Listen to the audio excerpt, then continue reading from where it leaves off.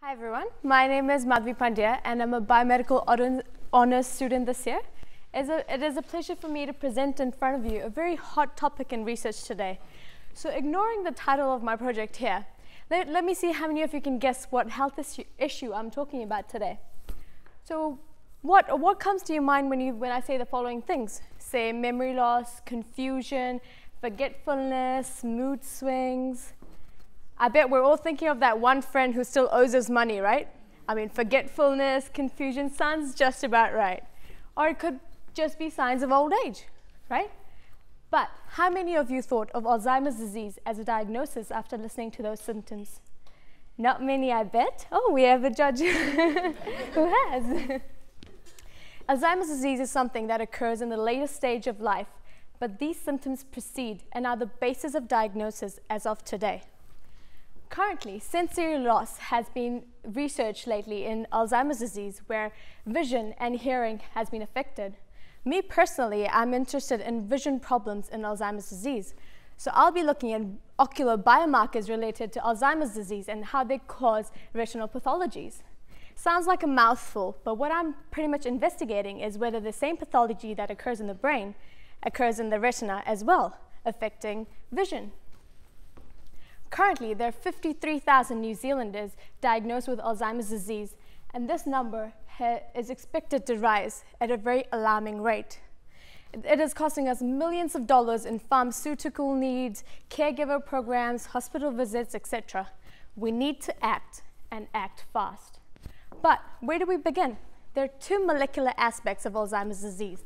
One, amyloid pathology. Two, tau hyperphosphorylation.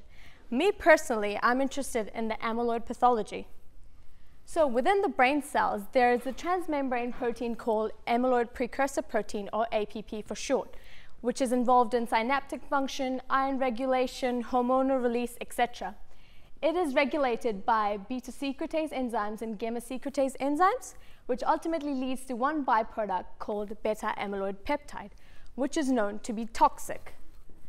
Beta amyloid leads to cell loss, inflammation, oxidation, even vision problems, all leading ultimately to Alzheimer's disease. So, is beta amyloid the bad guy here, the one causing Alzheimer's disease? Well, the answer lies within the structure of this protein. There are many isomers of this protein ranging from 36 to 43 amino acid long, but research shows that beta amyloid 40 and beta amyloid 42 are responsible for Alzheimer's disease. The protein on its own has a random coil shape, but when the concentration of this protein increases in, within an area, they self-assemble themselves into fibrils. And these fibrils are known to have beta sheet formation. Interestingly, research shows that beta sheets are related to autofluorescence something that fluoresces when emitted, when excited with a specific spectrum of light. Maybe we could exploit this property of this protein. This leads to the hypotheses of my research, using autofluorescence-dependent diagnostic tests for detection of amyloid protein. Great, now we have a hypothesis. But where can we test this? Well, how about the eyes? There are four reasons to why we should look at eyes for Alzheimer's biomarkers. One, because of the retinal and neuro neuronal and, uh, origin is the same, we suspect that retina expresses the same enzymes and proteins involved in the amyloid pathway. Also, there's confirmed presence of beta amyloid within the retina, and there has been visual difficulties observed between AD patients. One study even goes further to say that the retinal plaques precede the plaques in the, observed in the brain in the transgenic mice model. How is this related to current theories? Well, currently there have been companies who have invested large sums of money in building equipments that detect this. So the image here shows curcumin-based labeling of beta amyloid within the retina. Curcumin is a protein that is autofluorescent and binds to beta amyloid peptide. But this makes it an invasive diagnostic test where the curcumin has to be injected to reach the retina.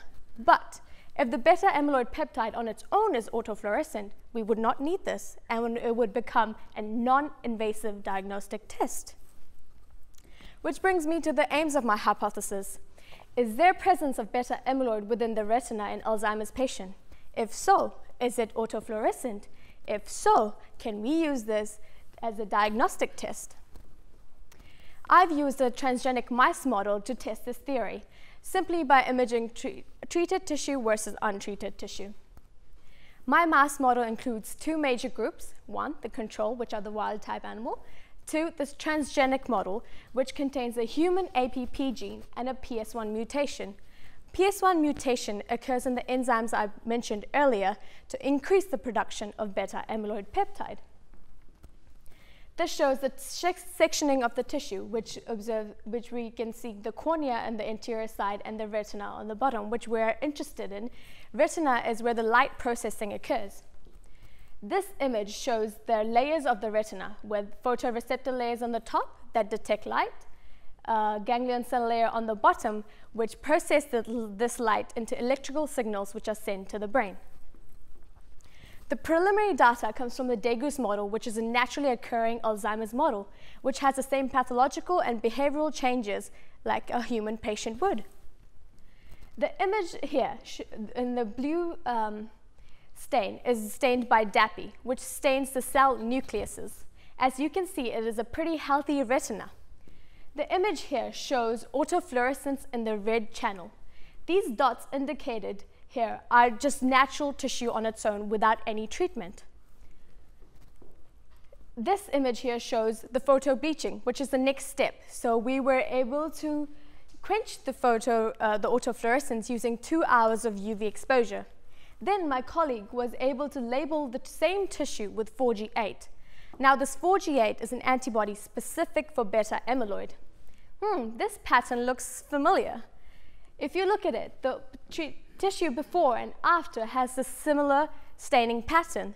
The dots observed before are pretty much in the same region observed after the 4G8 labeling. That brings me to my mouse model. In my mouse model, despite the fact that there's high background autofluorescence, what we're interested in are the dots here indicated by the arrows. Compared to the Degus model, my mouse model has the dots appearing in the outer nuclear layer, which is just photoreceptors, which has photoreceptors present. So the next step was to photo bleach. Well, there's bad news because I wasn't able to completely quench the, uh, the autofluorescence, even despite two hours of UV and 30 minutes of copper sulfate exposure. So this led to troubleshooting. Why is there high autofluorescence in my tissue? This could be because of the fixation and the handling of the tissue before and after. So to overcome this, I use confocal microscopy techniques to help me distinguish between autofluorescence and the signal. Just to mention, to make this study a little more interesting, I was blinded to the study, and as I was unaware of the state of the mouse, to see whether I was able to distinguish between the wild type and the transgenic. So mouse A here is before, before treatment, and this is after treatment. As you can see, we see no dots appearing in either of those stainings, which leads me to believe that this mouse was in fact a wild type.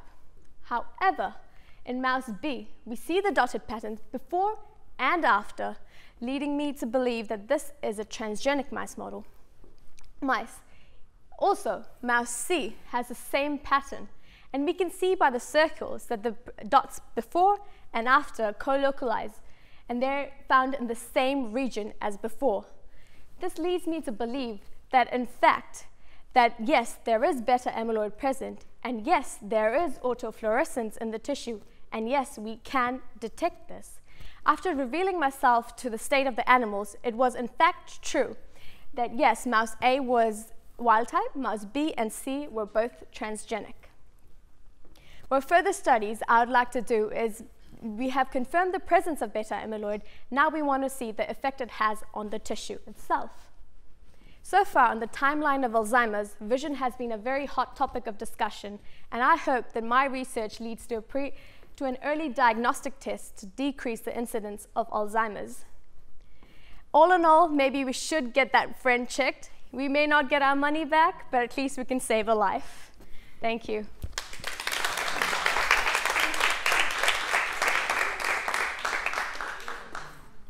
You've got um, if this works, right, Yep. and you develop a non-invasive diagnostic test, there is no treatment for.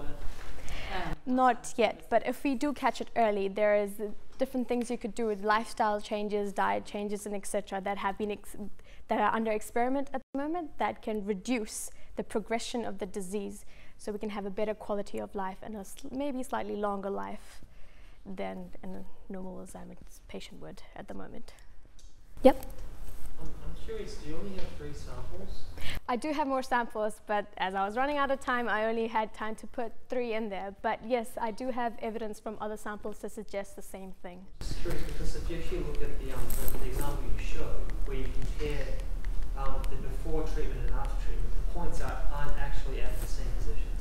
This is They're- bec- they're- they're- there's, a same, sim- there's a similar pattern, but they're not exactly the same positions. That's a very good question. I'm glad you asked that because this is before treatment and this is after treatment. So this requires a lot of washing, uh, exposure to antibodies, and washing again and again, which does damage the morphology of the tissue. So the shape of it does change, and therefore we cannot say they come from the exact same point.